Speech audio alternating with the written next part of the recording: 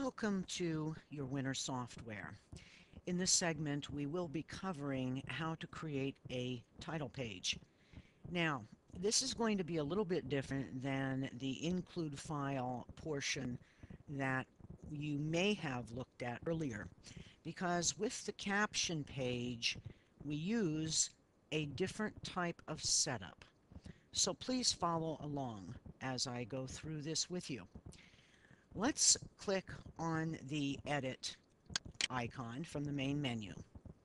And first of all, I want to show you what the end result will be. So if you will open a file or just take a look at what I'm going to show you here in this particular one. This is my title page. And my title page, you'll notice uh, I have the word state here and then I have I, uh, colons down the side which separate um, the so-and-so versus so-and-so and venue and so on. Now, in some software, when you are typing in information before a punctuation mark, such as a colon, or if you use parentheses, the colon or parentheses may move. However, by creating your title page in a caption box format, which you can see up here, that is the format I'm using. When I type anything, nothing moves. And that's the beauty of it. So, what we're going to do right now is I'm going to close out of the caption box. And now, if you will follow with me, I want you to click on the Winner Editor icon. At this point, we're going to click on the Cancel button. From here, I want you to go up to File, New, and I want you to select your page layout.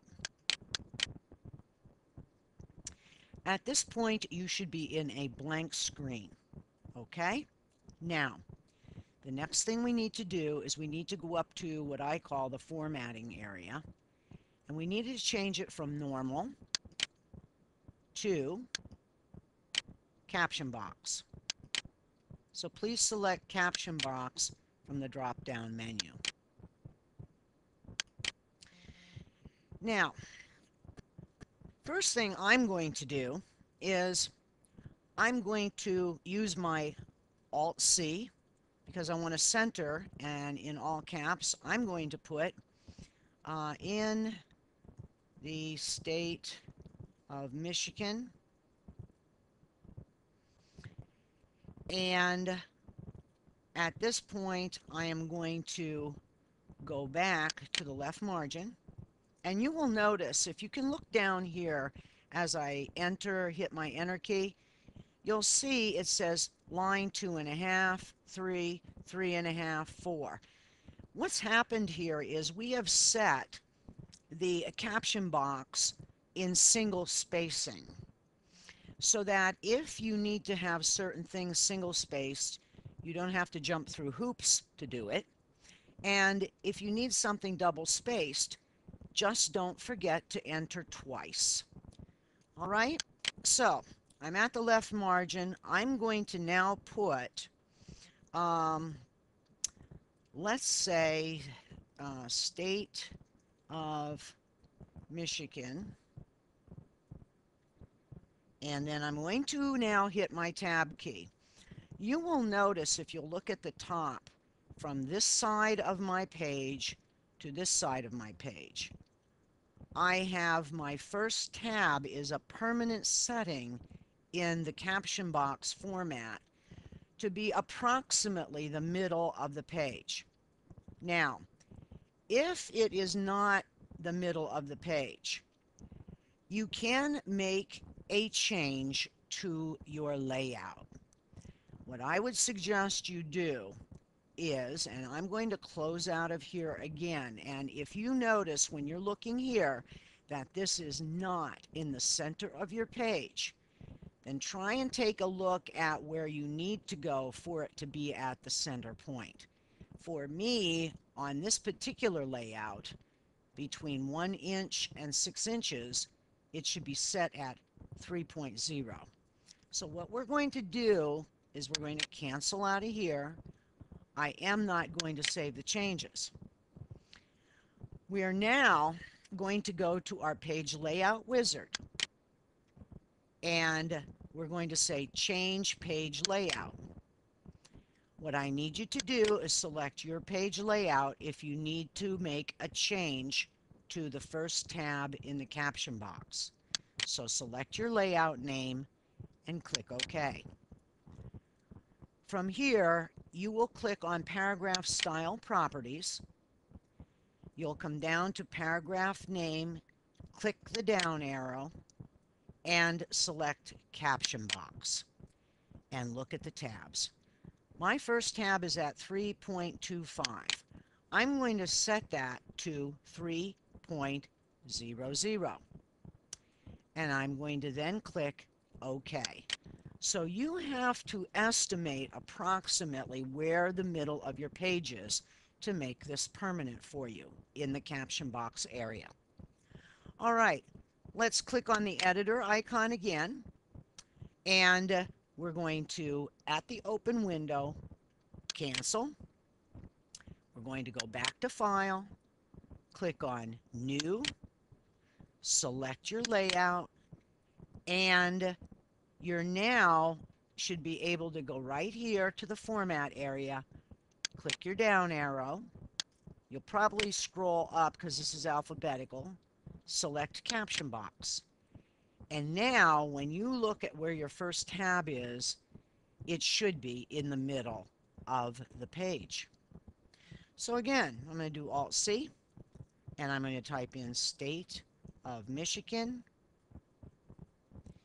I'm going to come down double space, align myself to the left. I'm going to set this for State of Michigan. I'm going to now depress my tab key and put a colon. Now, before you do that, please make sure you look down here, right here. I do not have my automatic punctuation on. If you have PNC showing here, you need to hit Control P to remove your automatic punctuation before you do your colon. I'm going to come down two times I'm going to enter because this is going to be double spaced for me. I'm going to come over here and I'm going to put versus. I'm going to again tab and put a colon. I'm going to enter twice again and right here I'm going to put my open squiggly bracket. Remember this bracket is a stop code. So if you're using F7 to uh, stop on your databases that you may sit, uh, set here, um, it will also stop on this stop code and this is used so that you can fill in certain information. I'm going to tab again. I'm going to place another colon. Now, up here on this side of my middle colon, I am going to put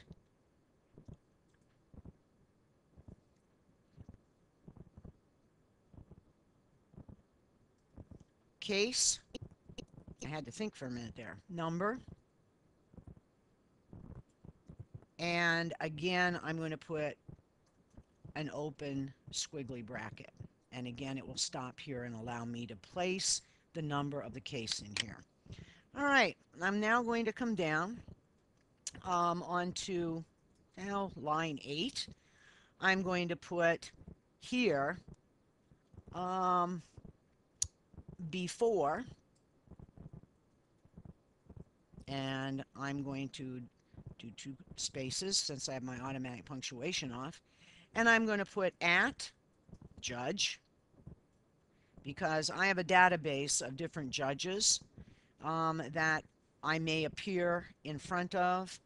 And when I do that I can just pull the names of the judges right off the database. I am going to double space again. I'm going to put the date. And here again, I am going to put the open squiggly bracket because I will fill that in. And then I'm going to come down to line 15 and put appearances. And I will come down under there and I'm going to come in five spaces. And this is where I'm going to put my at attorney. And this again will be a database that I will create, which I have shown you how to create these databases in one of the other segments of this tutorial. The nice thing about this using the caption box setup is that you no longer will have to juggle information.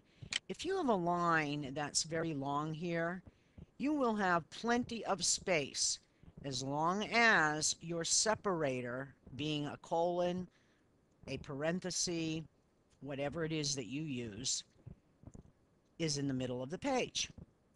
So that really is all there is to doing your caption page using the caption box format. If you have any questions on this, as usual, please don't forget to call our support and they will help you. The number for support once again is 800 966 1221. It's been my pleasure. Thank you.